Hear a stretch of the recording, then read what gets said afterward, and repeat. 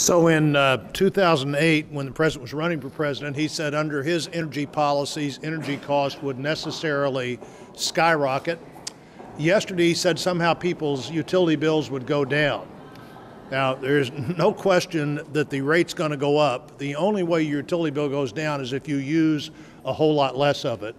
And poor families, struggling families, are the last families that are able to protect themselves from utility rates that have gone up by 30% already in many states and are going to go up a lot more if uh, this national energy tax is able to go forward. The president was telling the truth in 2008. I don't think either the White House or the EPA yesterday could possibly have said in a truthful way that your energy bills are going to go down, even though the rate is going to go dramatically up.